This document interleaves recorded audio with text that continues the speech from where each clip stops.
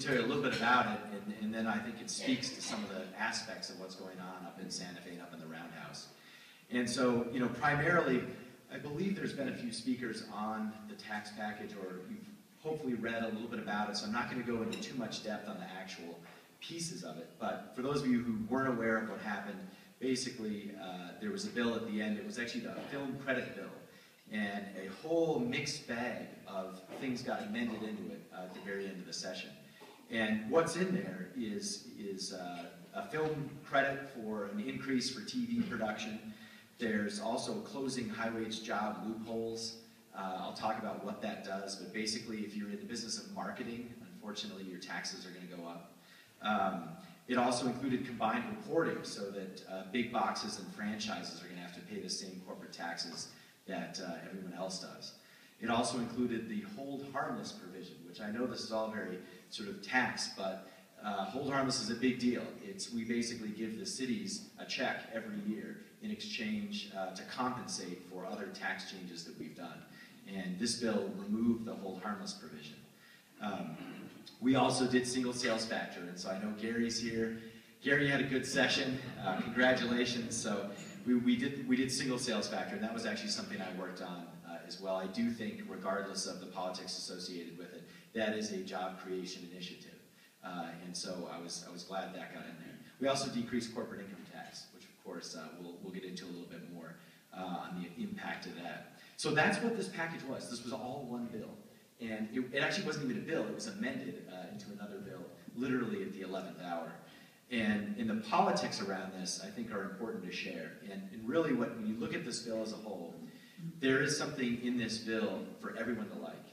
And there's also something in this bill for everyone to loathe. And that's, that's probably why it passed, actually. Um, but uh, the, the challenge is, it, it, it, I think for a lot of us, I mean, it, was a tough vote, it still is a tough vote, and we're going to have to do a lot of things going forward to clean this one up. Uh, it is the perfect example of the kind of, you know, sort of sausage analogy that um, our democracy puts together for you up in Santa Fe. So on here, I mean, if we break it down, if you want to look at it from the governor's perspective, you know, she got about half of what she wanted. She got half the amount of corporate tax cut reduction, and she got single sales factor, but only for manufacturing companies. Um, on the other hand, there are tax increases all over in this bill.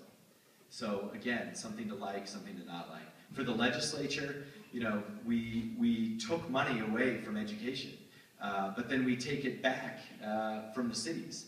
So in the long run, for our, our forecast 10 years out, because of this hold harmless provision, there's going to be more money for education that the state can put in because we're not giving it to the cities. So, you know, again, a real mixed bag. And, and also for the cities, you know, they're now going to have to deal with a phased in, a 14-year phase-in period for this hold harmless provision. But by the same token, it's lower corporate tax for their economic development initiatives the TV uh, film piece was big for Albuquerque. That was something that was really important to them, and so or to us here in Albuquerque. And and and so I mean I think it, you know clearly I think the cities lose the most in this situation, but but it's still a mixed bag for them. And you know if you're if you happen to be on the on the left side of the aisle, um, you know you get to tax Chevron, you get to tax Target now, you get to tax McDonald's, all these companies who you know we perceive have gotten free rides. We also get to protect the food tax, which is something that is, is very regressive. Uh, but on the other hand, there's a tax cut for corporations, which typically folks on that side aren't really into. On the other end of the spectrum, you know, uh, this is helping business, and it's really helping AED and recruit businesses. Uh, but on the other hand, um, it's not helping you if you're one of these companies that gets caught up in combined reporting or in some of the other fixes uh, with respect to pyramiding. You're actually raising taxes. So, you know, I think you guys get the idea. This is a real uh, mixed bag bill. And, and I think it's a product also of, of the process. So when I say this was the 11th hour, um, I got this bill with 20 minutes left on the clock. And so for those of you who know, our session ends at noon, no matter what. Well, theoretically, this bill actually ran a couple of minutes over noon. So uh, you have to, you got to make the decision, you know, then and there. And so, so we had, and it was about, I think it was maybe a 37-page bill, something like that. So on the House side, I, I don't want to speak to what happened in the other chamber because I wasn't in there. They, I think, had seven minutes to look at this bill. uh, and they had never seen it before. And uh, you know, we in the Senate have been working on these issues for a long time. Actually, these a lot of these tax issues have been around for several years, and we had we had a whole 20 minutes to look at it. You know, um, so it, at the end of the day, you know, a lot of people basically had to say, well, do I vote for it because of the things I like in it, or do I vote against it because of the things I don't like in it? And that was really the choice at the end of the day. But you know, the flip side of this is, would this bill ever have passed if it didn't happen at the 11th hour? Well, the answer is no. Uh, it's, there's too much in it, there's too much to shoot down. So, you know, here I think we have one of these sort of trade-offs about where we're at in the legislature. Uh, if you want a big change idea, which, which I wouldn't even call this big change, uh, this is mild by comparison, um, you know, we really struggled to get something like this done. And, and there's all sorts of questions now associated with it. One is, is it revenue neutral? So from the tax perspective, you know, we, we want to have enough funding to fund everything that, that the state government has. And we had testimony that it was revenue positive to the tune of 200 million. Uh, and then we have also reports coming out now that it's revenue negative 200 million. And the bottom line is, I mean, there's been three different fiscal impact reports on this since the bill passed. And when we voted on it, there wasn't even a single fiscal impact report. So, you know, this thing, um, we have no idea what the impact is going to be. And I think, I think we can all talk around the details, but I don't think we do. And I think we hope that at least it helps create jobs, you know. Uh, but I think we also agree that, you know, this is not a jobs package. Uh, I would love to stand up here and tell you about some jobs package we passed. This is mild tax reform. Uh, and hopefully it helps out everyone in New Mexico. You know, that's, that's clearly the goal of it. But I think, uh, I, I think we're kidding ourselves if we call it something else. And I think, you know, it's a, a little bit cynical, but for me, when I look back on this, it bothers me because I look back on the policy front and the process and I say, is this the best our legislature can do for New Mexico? You know, we have got to be able to do things better than the way uh, we handled this bill.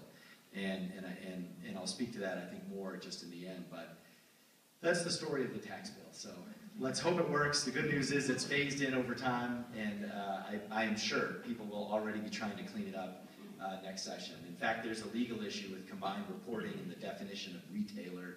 It's already going to court. So uh, uh, we'll be back on this one. So one other story I'll share with you is, is the tax expenditure budget. And this one, again, tax related. What this is, this is one of my favorite bills that I've, I've run a lot, and this is actually the second time I've run it. All this bill does is it just creates a simple accounting, a return on investment for all our tax incentives, deductions, and exemptions. And believe it or not, there are a lot of those. So to the extent you haven't heard about this, there are at least $1 billion worth tax expenditures in our tax code. That's about 20% of our budget. So if you want to use the sort of Swiss cheese analogy, in our piece of cheese, 20% of it is holes.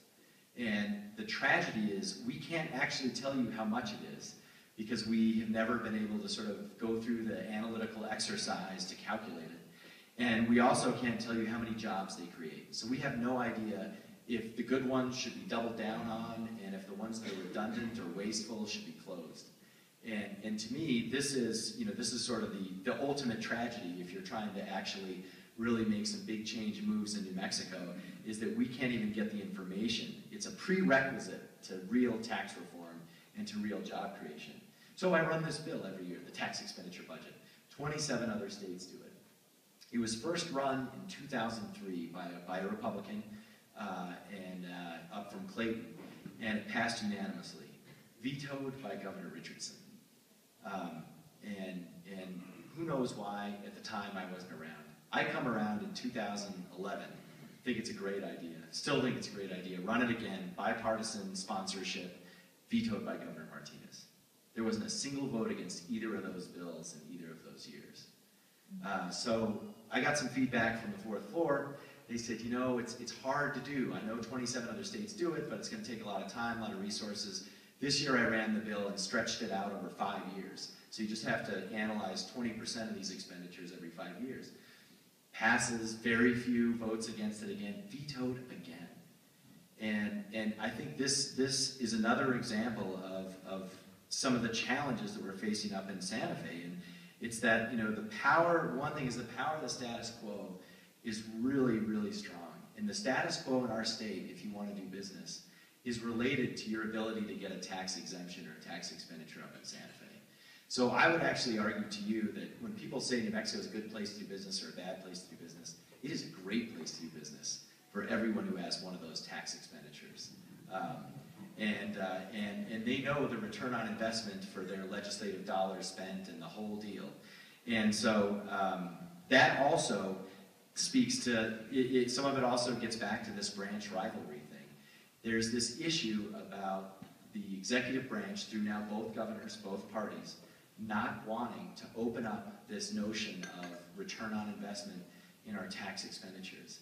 And I think it's because it, it creates all sorts of questions that no one wants to answer.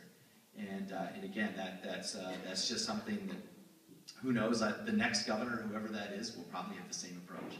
Uh, and that's something we've actually got to get over because I, I think we cannot have meaningful job creation and we cannot have meaningful tax reform in New Mexico without the information.